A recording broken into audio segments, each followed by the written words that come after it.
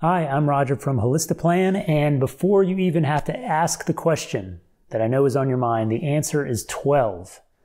12 tax returns were uploaded into our system on Thanksgiving Day this year.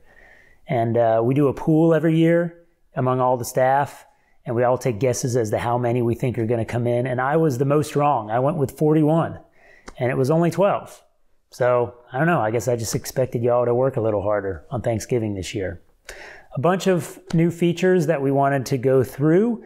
Uh, first off, in the scenario analysis screen. So at the very, very tippy top here, this is something people have asked for for quite a while is a description field, a way for an advisor to kind of leave some breadcrumbs to their future self that says, here's why I made this choice or why I, what I was modeling specifically in, in this particular scenario. I know the next question is going to be okay, well, that's great that we have description or scenario level description, but I want to be able to put notes at the field level. That's technically feasible and I fully expect us to do it. It's just that that's not that's not there yet. So right now, leave your notes to yourself in that description field up top. Also, new to the scenario analysis screen, we've had probably for six months people saying, you know, it'd be really helpful if you added this type of withholding or that type of withholding or estimated taxes, split them out in that withholding calculator that's, that's at the very, very bottom of the screen. And so we did it. We did every possible iteration of withholding and estimated tax type and carried forward uh, refund. And so now, if you expand that section, just about everything you could imagine is in there. This may not be the final form of, of, of, the design of this section, but at least this gives people what they've been asking for, which is can we just can we just break out the different types of withholding and estimated taxes that a client or a, a pair of clients, if they're married, may do. So what's next for scenario analysis? Now that we're already on this page, um, a couple things. One is just general user friendliness. When we first created this screen, we pretty much just mirrored whatever was on the tax return. Whatever the IRS puts on their form, that's what we put on the screen. And as we all know, the IRS is not there to be great intuitive designers. And so that causes potentially or that creates the danger of data entry problems. And so we want to make the system as accessible as user friendly as possible. And so we're really starting to think more closely about how do we how can we guide the advisor through that screen so there's less of a chance of them making a mistake or missing something as they're entering data. Right now we have a hodgepodge of little notes. So for example, when you enter Schedule C income, it'll pop up a note that said, "Hey, don't forget about Schedule SE or don't forget about QBI." But it would be nice, we think, to maybe put pop up something where the data entry could all be in one place. So keep an eye out for that. Jeff Levine, who's recently joined us, is really helping us think through that in more detail. So that's something that we're really working on and thinking about. So if you're kind of hoping for some more user friendliness on that screen that's coming, that then in turn allows us to go deeper on some of these sections because once you've built uh, once you've built around the idea of the complexity of the tax returns, then you can start to add in more features, the ability to go into more detail on certain types of edge cases. So stay tuned for that. State taxes is also still in the works. We have, I'd say, maybe two dozen firms who have opted in to look at state taxes uh, on the scenario analysis screen. Right now, only four states that are supported, um, that are still in beta California, New York, Minnesota, Virginia. We've been getting some good feedback on that, but actually not a ton of feedback. And so we've kind of just been iterating through that, and we're going to improve it to the point where when we feel comfortable with those four states, then we'll make it a, a decision as to what we're going to try to roll out next as far as state taxes. And one debate we have internally is do we try to go into the nth degree of detail with every single state? There's like 43 states with state taxes. Or do we try to come up with something that's at least as bridges the gap and maybe with some simplifications at least gets you an estimate a best guess estimate of what the state tax implications might be. So that's still work in progress. I will say that state taxes now for those four states now show up in range calc. So if you opted in for that beta, you may not have seen that in range calc before. So you may want to click over to range calc and take a look at it. Uh, you'll notice that there are a few artifacts within the calculations that show up in range calc that we're working on. So very, still very much a beta, but still something that we know is important to a lot of advisors out there are state income taxes. Moving on to the households listing or the dashboard or the main page you see when you log in, you will notice three new columns. This is something that advi- this this was an idea that didn't come from us. This came from advisors on this on the system. They've always said uh, wouldn't it be helpful if I could just see at a glance and organize or list my clients from lowest to highest AGI or highest to lowest marginal bracket? And so we added those fields. And that's, I think, going to be really helpful, especially as we hit the end of the year where we're trying to prioritize which sorts of tax analysis we're doing for people. Maybe you want to hit Roth conversions for everyone below the 20% bracket, for example. Uh, or maybe you want to be looking at donor advised funds or QCDs for everyone in the highest brackets, that sort of thing. And just last week, like the day before Thanksgiving, we had rolled out AGI and marginal tax. And one advisor wrote in and said, well, it'd be really helpful if you added capital loss carry forwards. And we're like, shoot, that's really, really smart. You're right. So like we had a scramble over the Thanksgiving break to get that column added as well, because this is the season where we're doing our gain and loss harvesting. And it'd be really nice to know, okay, what's being carried forward from last year and what better place to get that information from the place where the tax return is stored and was read in by a computer. Now, one kind of quirk about this screen is if it's only showing one line per household. So if you have a married filing separate household where there's two tax returns for that household, I think it's going to display only the more recent of the two uploaded. So that was kind of a design decision we had to make. Like, how do you handle a household that has more than one income tax return? So just be wary of that. And of course, if something went wrong with the upload, so if either the OCR failed because there was a missing uh, form that was critical, or if the data, if the document was corrupted in some way, if we weren't able to really read it fully and come up with a a solid calculation of what we thought the marginal rate was on that on that tax return, it'll say NA on, on the screen. So play with that. There's also some new little widgets as far as filtering and sorting in the household screen. While we're on this screen, I will say one thing that we're working on and I expect to have done by the end of the year. Ever since we started the company, whenever the OCR routine would fail, we would, you know, kind of do our own manual review of those documents. And then what happened was the way we communicated back to you that everything was either okay or something was missing was email.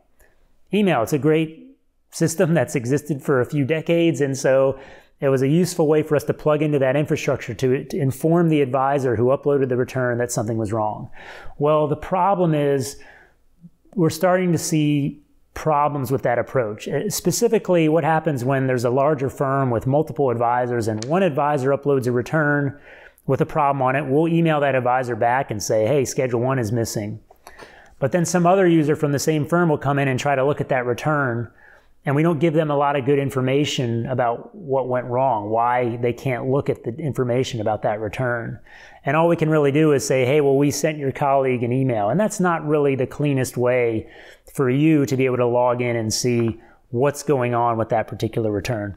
Also, if you upload 10 returns, you don't really want 10 emails back flooding up your email address, your inbox that says, okay, these 10 are now ready to look at. So we're going to put some sort of status bar or status area on the actual dashboard screen that just says, hey, of those returns you uploaded yesterday or th- this morning, two of them have a problem, but these other two are fine. Or, you know, so we're going to have the status in the system itself rather than relying on emails to send out status updates.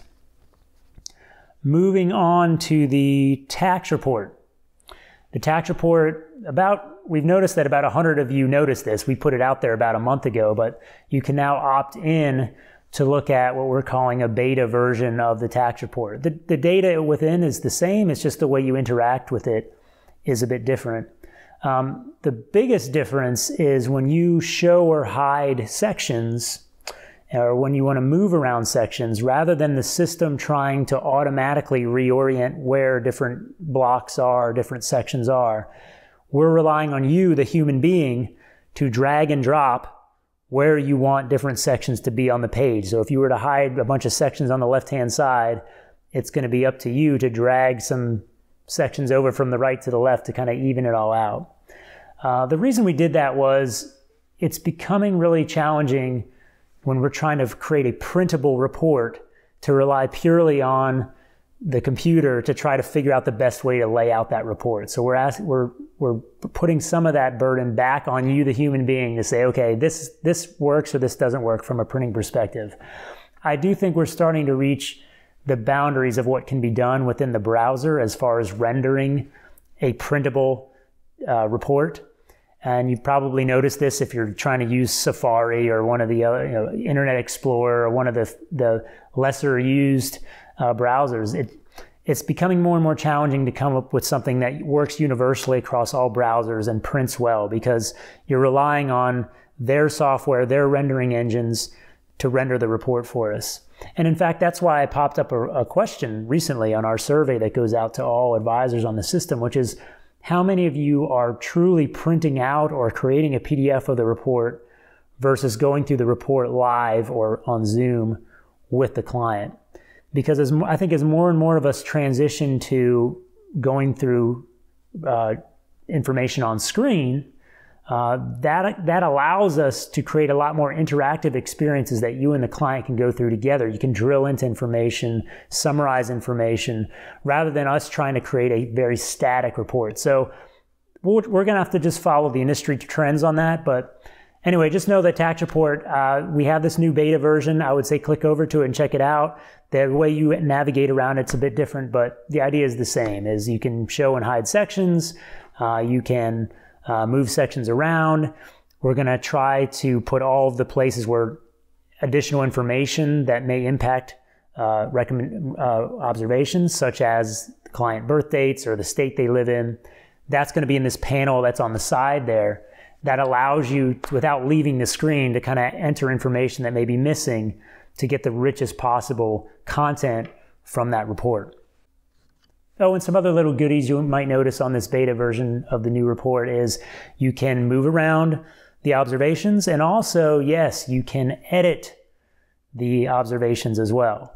And so you can just go in there if you want to change the wording of something or, you know, add a little note that's specific to that client. That can now be done and that'll persist with the report. So that's a new thing that I know people have asked for for quite some time. That's there. The final thing I want to announce is something that people have asked for again from the beginning, and that is the ability to create scenarios without uploading a tax return.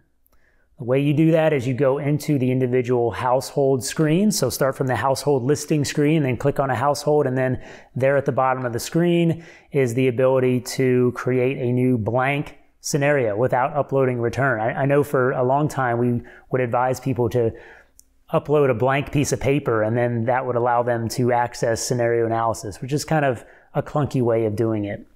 Now, one thing about the way we're rolling this out that is different from anything we've ever done, and that is we are rolling it out to those subscription plans that are one above our entry level subscription plan.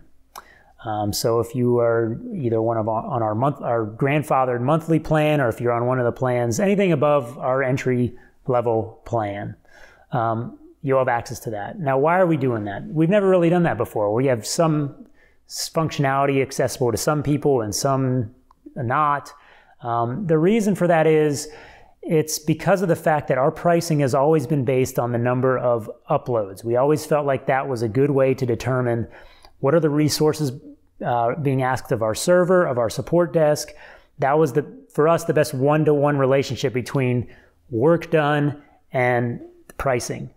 Well, now though we're kind of bypassing uploads, and so I know you wouldn't do it, but someone might come along and buy the 449 a year plan and upload one or two documents, but then do 500 scenarios for all their clients. And we don't want a situation where we're being taken advantage of. And so we hope that this is a fair way to do it for now. Maybe we'll come up, we'll land on something different. But for now, if you want access to these standalone scenarios where you don't have to upload a tax return and, and, therefore don't use one of the uploads that are that is associated with your plan, you have to be in something other than our baseline um, lowest level, cheapest plan.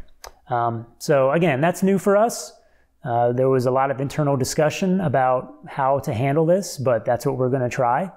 And so, yeah, there it is. It's in the household screen. Check it out. It's scenarios without having to upload a tax return. Of course, uploading the tax return saves you a lot of time because you don't have to enter all that information in to start your baseline. But sometimes I know the situation occurs where you just don't have a tax return to start with. And so this allows you to get started and still do good work for your client there. Best of luck getting through your end of year tax planning. And if we can be of any assistance helping to get it done, just let us know. Thanks.